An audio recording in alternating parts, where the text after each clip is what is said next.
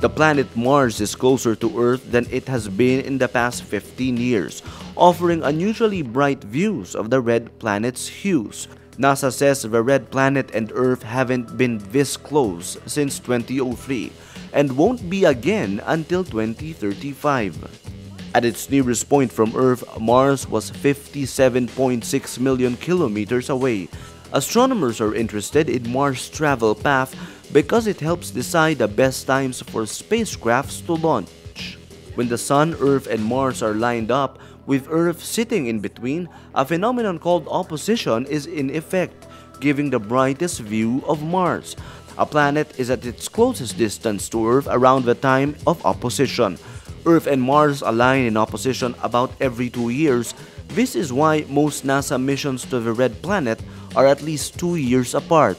Mars will still be visible in the night sky for the next few months.